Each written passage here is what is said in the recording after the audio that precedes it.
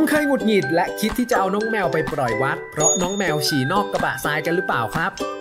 ไม่ใช่คุณคนเดียวที่ต้องเผชิญกับปัญหานี้ เพราะแมวฉี่นอกกระบะทรายเป็นหนึ่งในปัญหาพฤติกรรมที่พบบ่อยที่สุด แต่เจ้าของแมวส่วนใหญ่มักจะไม่ได้นำมาปรึกษาผู้เชี่ยวชาญ คลิปนี้จะมาอธิบายสาเหตุ วิธีรับมือเพื่อลดปัญหาในบ้านของคุณ และปรับปรุงคุณภาพชีวิตของแมวไปพร้อมๆกันสาเหตุของการฉี่นอกกระบะทราย แมวเป็นสัตว์ที่รักสะอาดและพิถีพิถัน โดยเฉพาะนิสัยการเข้าห้องน้ำและไม่ค่อยฉี่นอกกระบะทรายอย่างไม่มีเหตุผล ซึ่งสาเหตุที่แมวของคุณฉี่นอกกระบะทรายได้แก่ 1. เหตุผลทางการแพทย์ สาเหตุทางการแพทย์ที่พบบ่อยที่สุด ที่ทำให้แมวฉี่นอกกระบะทราย อาจจะเป็นเพราะกลุ่มอาการผิดปกติของระบบขับถ่ายปัสสาวะส่วนล่างในแมว เช่น โรคกระเพาะปัสสาวะอักเสบ เป็นสาเหตุที่พบบ่อยที่สุดที่ทำให้แมวฉี่ไปทั่วบ้าน ส่งผลให้ปัสสาวะบ่อยขึ้น รวมไปถึงความเจ็บปวดเมื่อปัสสาวะ ภาวะอักเสบนี้อาจจะมีความรุนแรงแตกต่างกันไป และรุนแรงขึ้นตามความเครียด และปัญหาอื่นๆ ในขณะที่มีการอุดตันของท่อปัสสาวะ อาจเป็นอันตรายถึงชีวิตได้ และต้องได้รับการดูแลทางการแพทย์ทันที แมวตัวผู้มีแนวโน้มที่จะอุดตันมากกว่าแมวตัวเมีย นอกจากนี้ยังมีอาการทางการแพทย์อื่น ๆ ที่อาจจะนำไปสู่การฉี่นอกกระบะทราย เช่น โรคเบาหวาน อาการปวดข้ออักเสบ ความผิดปกติทางสติปัญญา เช่น ภาวะสมองเสื่อม โรคฟัน อาการปวดหลังการตัดเล็บ ตาบอดจากม่านตาหลุด เบาหวานหรือวัยชรา ไตวายเรื้อรัง 2. ความเครียดจากสิ่งแวดล้อม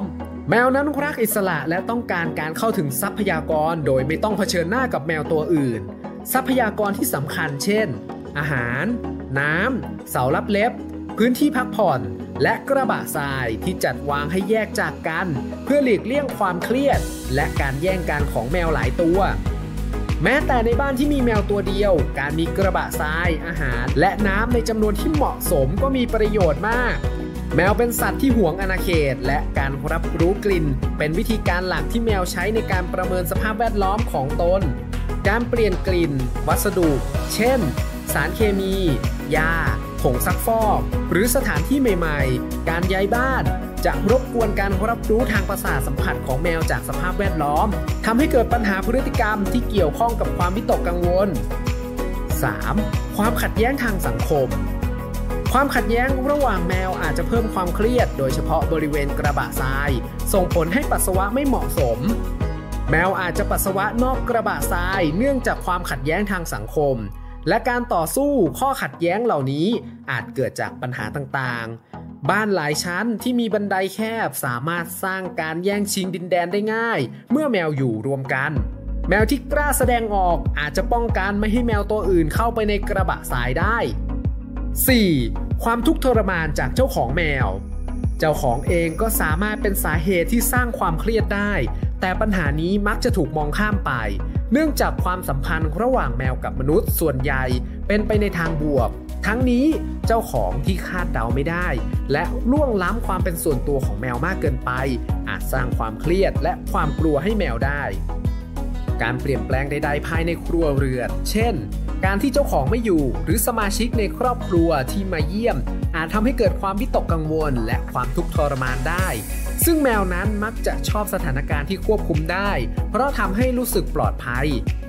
5. ไม่ชอบกระบะทรายหรือขนาดที่ไม่เหมาะสม การรังเกียจกระบะทรายเป็นเรื่องปกติ และอาจนำไปสู่ปัญหาของแมวฉี่นอกกระบะทรายได้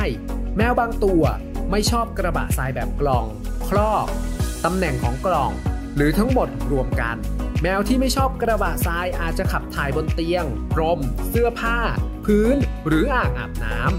ำ 6. พฤติกรรมการสร้างอาณาเขต แมวกำจัดของเสียได้ 3 วิธี คือ ปัสสาวะแบบนั่งยองๆ ถ่ายอุจจาระ และพ่นปัสสาวะ การปัสสาวะโดยการนั่งยองๆทำให้เกิดแอ่งน้ำเป็นวงกลมบนพื้นผิว โดยเฉลี่ยแล้วแมวจะปัสสาวะปริมาณมาก 2 ครั้งต่อวัน และถ่ายอุจจาระ 1 ครั้งต่อวัน โดยอาจจะมากกว่า 3-4 ครั้งสำหรับแมวที่เลี้ยงนอกบ้าน ส่วนการสเปรย์ฉี่แมวมักจะยืนตัวตรงสี่ขา และยกหางในแนวตั้ง แมวของคุณจะไม่ขุดดินก่อนที่จะสเปรย์หรือทำการฝังกลบเมื่อสเปรย์ฉี่ แมวของคุณจะปัสสาวะปริมาณเล็กน้อยออกไปบนพื้นผิวแนวตั้ง เช่นกำแพง เพื่อให้กลิ่นกระจายไปทั่วบริเวณนี้ เพื่อเป็นการบอกกับแมวตัวอื่นว่าใครเป็นเจ้าของพื้นที่นี้ จะป้องกันหรือลดปัญหาแมวฉี่นอกกระบะทรายได้อย่างไร 1. สอนตั้งแต่ยังเป็นลูกแมว ช่วยลูกแมวของคุณด้วยการฝึกกระบะทรายตั้งแต่วันแรก 2. มีกระบะทรายในจำนวนที่เหมาะสม จำนวนกระบะที่เหมาะสมที่สุดคือมีกระบะทรายเท่ากับจำนวนแมวและเพิ่มไปอีกหนึ่งถาด วางไว้ในตำแหน่งต่างๆ สามารถใช้แบบมีหลังคาหรือแบบเปิดตื้นๆก็ได้ 3. ตรวจสอบให้แน่ใจว่ากระบะทรายของแมวมีขนาดเหมาะสม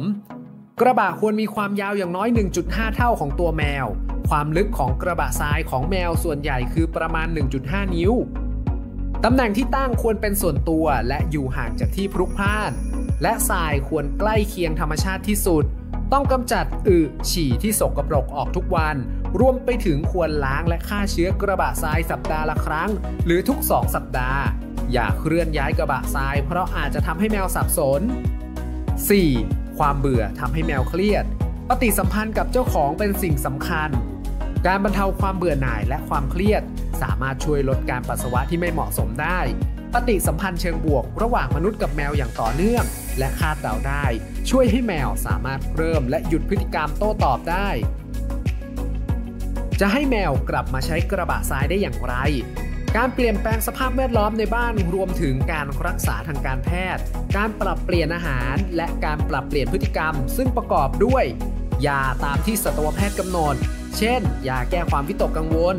การเสริมข้อต่อมีประโยชน์สำหรับแมวที่มีปัญหาข้อเรื้อรัง เช่น โรคข้ออักเสบ ใช้การเสริมแรงเชิงบวก ให้ขนมเมื่อแมวของคุณใช้กระบะทราย แยกแมวที่ไม่ถูกกันออกจากกัน และใช้ขั้นตอนการแนะนำเพื่อนใหม่ ในกรณีที่เกิดความขัดแย้งระหว่างแมว เพิ่มต้นไม้แมวสำหรับพักผ่อนและซ่อนตัว การใช้เฟลิเวย์ฟีโรโมนสังเคราะห์ ฉีดสเปรย์ลงบนพื้นที่ที่มีปัญหา และเสียบปลั๊กเครื่องกระจายกลิ่นเฟลิเวย์เข้ากับห้องที่แมวของคุณแวะเวียนไปบ่อยที่สุดการโต้ตอบด้วยการเล่นกับเจ้าของและเกม เช่น เกมพัซเซิลเพื่อลดความเบื่อ ความเครียด และความอ้วน การลดการสัมผัสสิ่งเร้าภายนอกให้เหลือน้อยที่สุด โดยการปิดกั้นการมองเห็นภายนอก ฟิล์ม มูลี่ แผ่นบังหน้าต่าง โปร่งแสง การกระตุ้นจิตใจและร่างกายทุกวัน การเพิ่มคุณค่าทางสิ่งแวดล้อม เดิน ฝึก และเล่นกับของแปลกใหม่ เปลี่ยนทรายแมว กิจวัตรประจำวันและเวลาให้อาหารที่คาดการได้ การปรับเปลี่ยนพฤติกรรมร่วมกับการจัดการกระบะทรายกรณีแมวฉี่นอกกระบะทรายส่วนใหญ่สามารถแก้ไขได้เมื่อทราบสาเหตุ และจัดการได้อย่างถูกต้อง การแก้ไขตั้งแต่เนิ่นๆ ถือเป็นกุญแจสำคัญ และเป็นโอกาสที่ดีที่สุด ในการช่วยให้แมวของคุณ กลับมาใช้กระบะทรายจำไม่ได้ตอนละครไม่